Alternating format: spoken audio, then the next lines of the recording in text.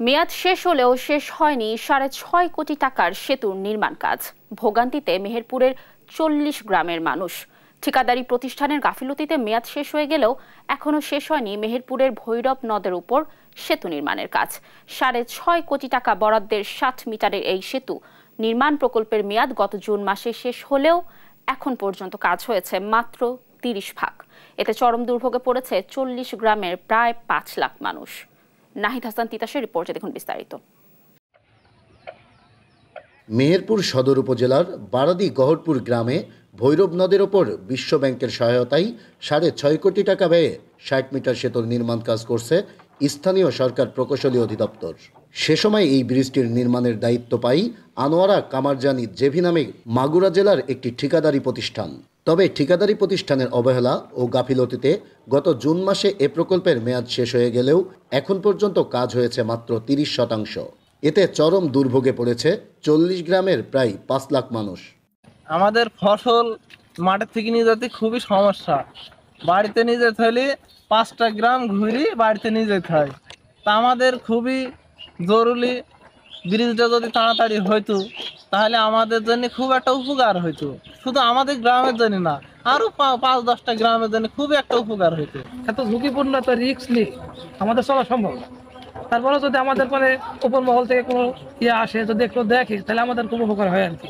এই কন্ট্রাক্টটা তো কোনো গুরুত্বই দিছি না। আমাদের ব্রিজ নিতে খুবই সমস্যা যাতায়াত করা মাঠের আবাদ বাণিজ্য নিয়ে আসতে অনেক দূর ঘুরে আসতে হয়েছি খরচ বেশি হয়ে যাইছে।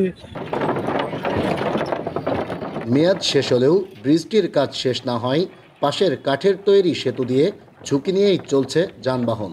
পণ্য পরিবহনেও বেড়েছে খরচ। তাই দ্রুত এই ব্রিজটির কাজ সম্পূর্ণ করার দাবি চলাচলকারীদের। আমাদের ব্রিজ নিয়ে খুব মানে ভোগান্তির মধ্যে আছে। মানে তারপরে হয়েছে যে কাঠের ব্রিজ কখন কোন সময় ভেঙে পড়ে যায় মানে খুবই ঝুঁকিপূর্ণ ভেতরে। তো আমাদের এই ব্রিজের কাজটা যদি দ্রুত হইতো কাঠের ওপর ব্রিজের উপর দিয়ে আসতে খুবই ভয় লাগে আমাদের। আমাদের কখন যে ভেঙে পড়ে যায় এটা কোনো নিশ্চিন্ত নেই। যে দূরত্ব কাজটা হলে আমাদের খুব আমাদের আমাদের দিকে খুব ভালো। তবে এ বিষয়ে ওই প্রতিষ্ঠানের ঠিকাদার খান হক বলছেন এই কাজটি তার লাইসেন্সে হলেও করছেন তার মামা। ওটা তো আমার লাইসেন্সে করে ওই যে ফরিদপুরের একজন ওনার নাম হয়েছে সুকুমার সাহা। উনি উনি আমার মামা হয় উনি কাজটা করতেছে। আর সেতুর নির্মাণ কাজে ধীরগতির বিষয়টি স্বীকার করে উপজেলা নির্বাহী প্রকৌশলী বলছেন সময় মতো কাজ শেষ করতে বারবার চিঠি দেওয়া হয়েছে ঠিকাদারি প্রতিষ্ঠানকে। কাজ ঠিকমতো শেষ না হলে ঠিকাদারি প্রতিষ্ঠানের বিরুদ্ধে ব্যবস্থা নেবেন তারা।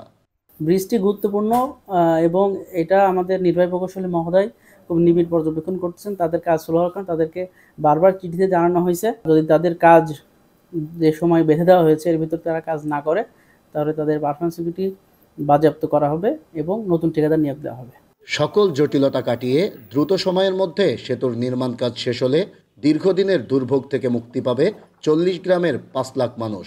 তাই দ্রুত এই সেতুর নির্মাণ কাজ সম্পূর্ণ করার দাবি স্থানীয়দের। নাইদ হাসান তিতাস, দেশ টিভি, মেহেরপুর।